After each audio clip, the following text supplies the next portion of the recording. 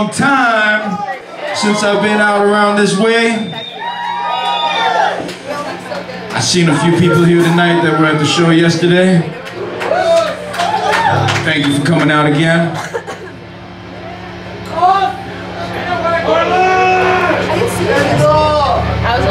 I we didn't really do a sound check, so I don't know what it's gonna sound like.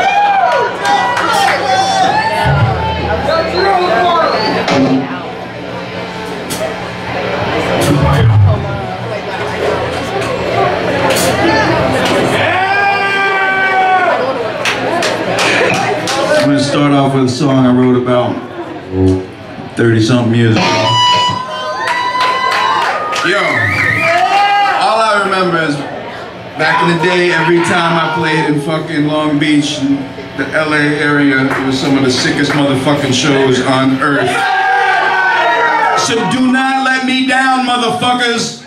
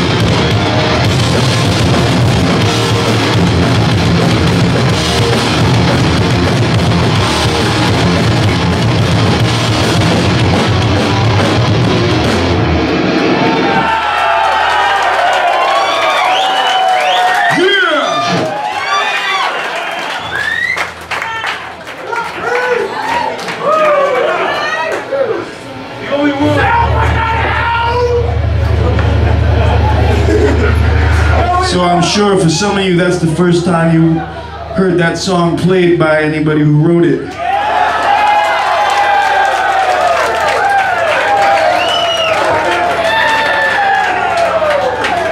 Look, I'm just gonna say this one time and one time only, and then I'm gonna keep going. All right? I got no problem with anybody doing Cro-Mag songs. Okay? I don't give a fuck. John can go out and play them motherfuckers to death. I do not care. All of y'all could go out and play. In fact, I want every band in here go cover a fucking Cro-Mag song. Now, the only problem I have is that bitch ass motherfucker goes out there advertising his band as the Cro-Mags when there's not there's not one motherfucker in that band who wrote not one fucking song. Okay, so you know what? You know, I don't care. Like I said, he can play them shits all he wants, but dude, you're misleading the fucking public. You're false advertising. That shit's the work of shady promoters who don't give a fuck. And that motherfucker's just milking the name of a band he didn't even write no fucking music for. Now, you know what? God bless him. The motherfucker needs to pay his bills too. Okay? But write your own shit or change the name of your fake ass band. Okay? I don't give a fuck. Y'all can go see the the the, the Cro-Mags. Look, look. It's like going to see Beatlemania, okay? As long as you know you're seeing Beatlemania, it's cool. The second you start believing that shit's really John, Paul, George, and Ringo, then you're a fucking sucker, okay? Yo, this next song is off that first album. I didn't say it yesterday, but I'll say it right now. Fuck Donald Trump.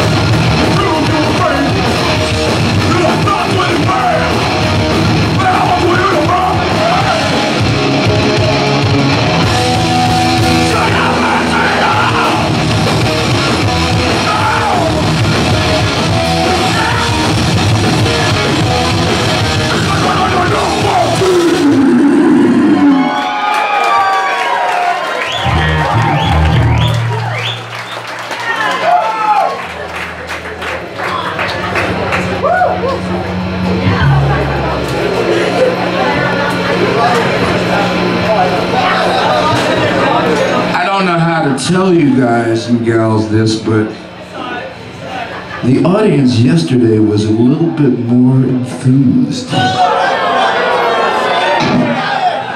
There was a lot more of them making it up to the stage and jumping off. I'm just saying.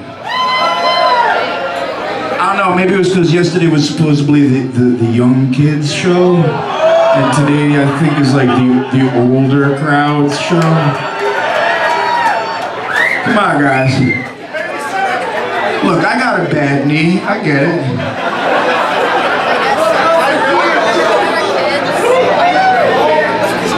But that doesn't mean you gotta be a bunch of fucking old ladies now.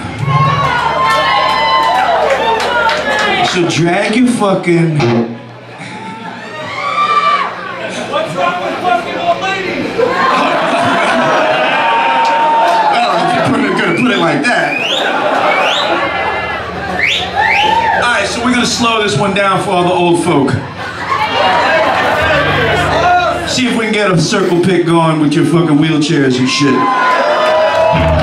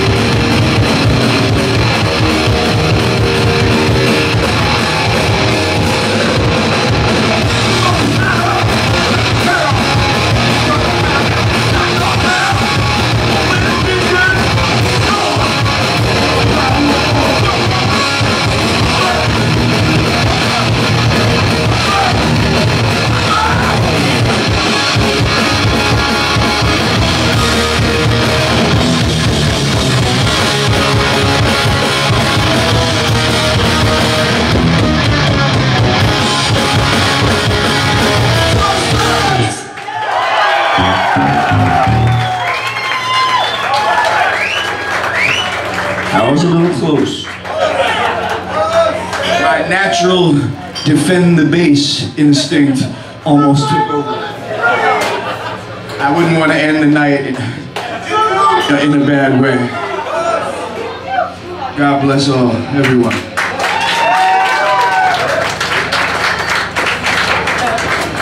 So you guys proud this weekend or what?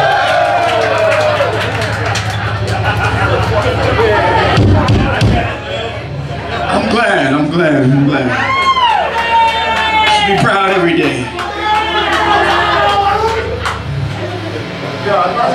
Man. I lost all my picks. I just had like a hundred picks. Harley, how about some Mel? I have an extra. Oh, you heard about that? Yeah. I'm gonna be doing a, I'm gonna be doing a track for Melle Mel when I get home. That's just gonna be nasty. Remember back in the 80s when I was out here, when I hitched, when I hitchhiked out to the West Coast. Motherfucker, I'm talking. I hitchhiked out to the West Coast, and I was like, feeling a little homesick and shit. I was in my friend's car, and all of a sudden the radio came on. I was like, it's like a joke sometimes. It makes me wonder how I keep it going on. Uh-huh, uh-huh, it's like a joke sometimes. And I was like, I was like, y'all motherfuckers don't know. This shit right here, that's New York, yo. I was like, yo. So anyway, yeah, I'm gonna be doing a song with Melle Mel, Grandmaster Melle Mel. Before I do the next song, I'd like to introduce you. You may have heard him. He played with me on Alpha Omega. He toured with me in the Cro-Mags and Harley's War. Mr. Gabby motherfucker. Behind me, this savage motherfucker beating these drums like he's trying to kill them shits. Gary G-Man Sullivan. Let's hear it for the Black Irish. Yeah. To my right, we got Mr. Artie Alexander. Give it up.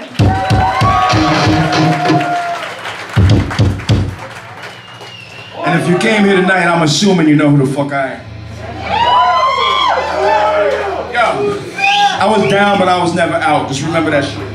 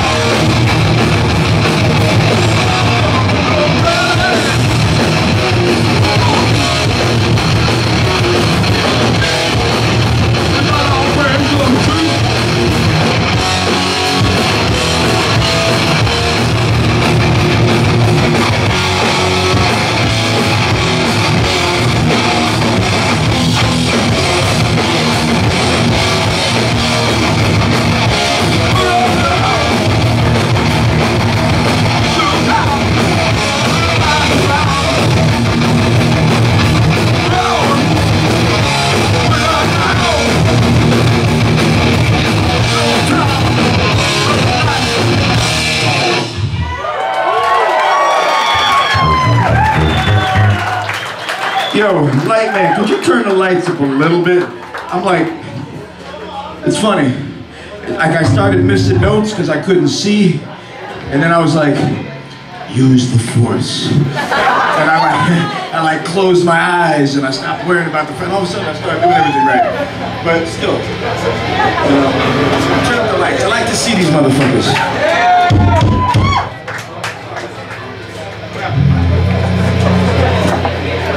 All right. I know we don't have too much time left because I've been up here talking all this shit. But Huh? So what? Yo, I'd like to give a shout out to my man from Red Death. Woo! These young niggas, look out. They're fucking hard as hell.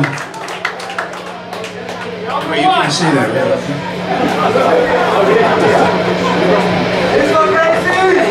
Oh shit, you know that, man. Master Renzo Gracie. Just know, wherever I go, Master Renzo Gracie's there with me. Oh shit, I just skateboard up here. Somebody's gonna do tricks. You gonna jump off this motherfucker? You got a little bit of a. So what do you guys want to hear? All right, all right,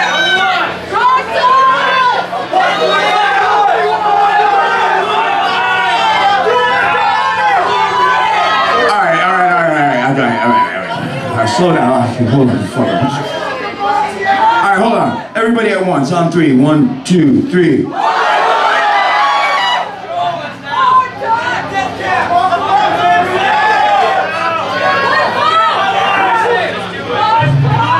what? I dedicated. I said I gave a shout out to my man from Red Death, and he asked me personally if we could do Apocalypse Now tonight. So.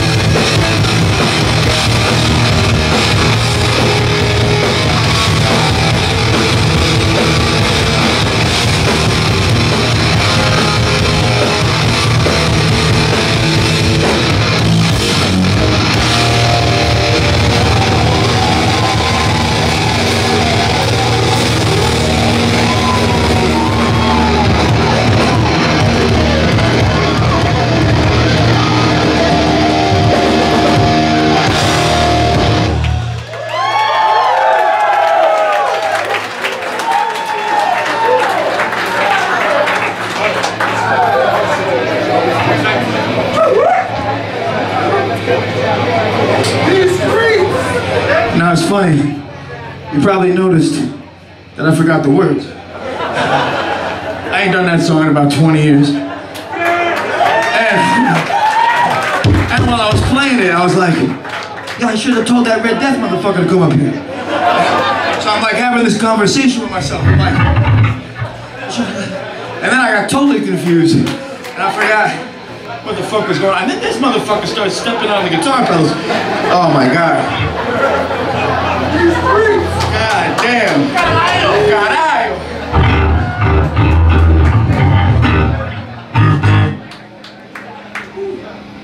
What y'all want to hear?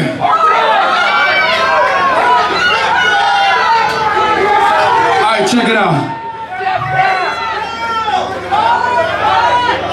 This is a this is a sad subject, it's a sad topic. But I'm gonna have to dedicate this next one to Chris Cornell. Now, I feel bad for anybody that's gone through such mental pain that they feel like the only way out is killing themselves. You know? But there ain't nothing in life worth taking your life over. And I feel really bad for him. And at the same time, I'm like, yo, B, you had everything, bro. You know? Yeah, you were struggling with depression. You know what? Guess what, man? We all struggle with depression. That's part of life. You fucking, you pick yourself up and you keep moving, you keep fighting. There ain't not a motherfucker in this room who hasn't been depressed, who hasn't been fucking destroyed. Yo, all those battles that you lose in the end, that's what makes you strong. That's what makes you wise. Never fucking give up. I could have gave up a million fucking times. I've been fucking, oh, forget about it. Read the motherfucking book. That's all I got to say. And never give up. Ever. No matter how hard times are.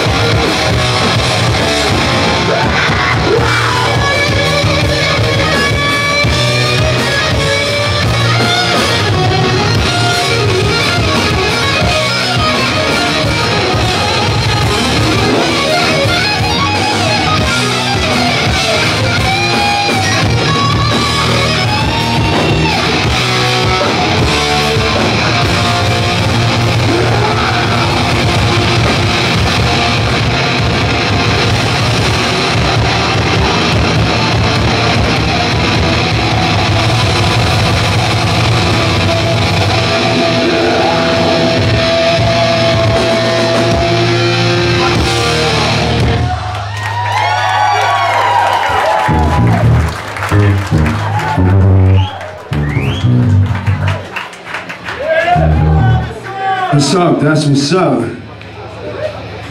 Alright, so check it out, people. I think we got time for one more song.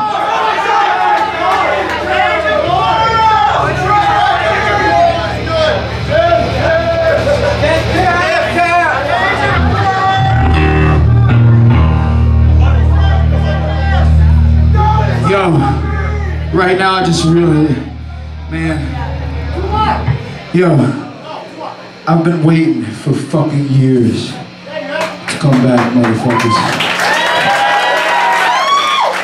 And I just want to thank you all, thank you all for being a part of this. I had to take some time off, I had some kids I had to raise. Now they're older, daddy can go out and play. Again, I'd like to thank you all guys, brothers, sisters, thank you all for coming out. It's a beautiful day to be here.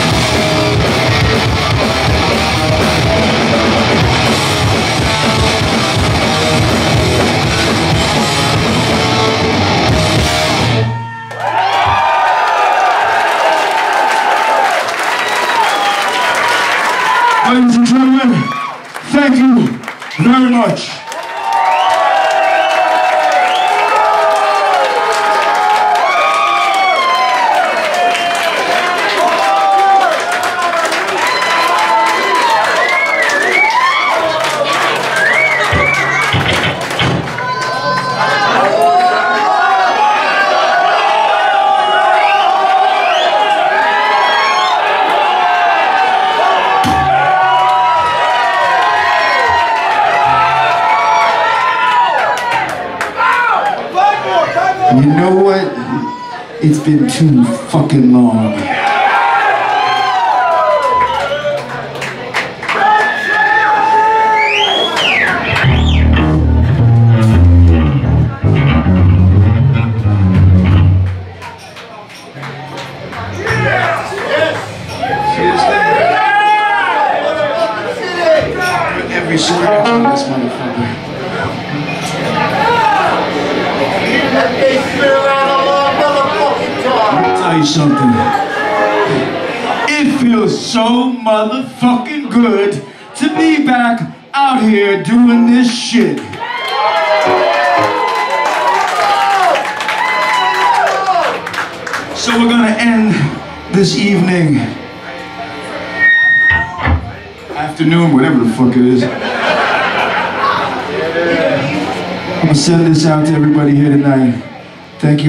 coming out. And, uh, and make sure that, that you tell somebody today that you love them.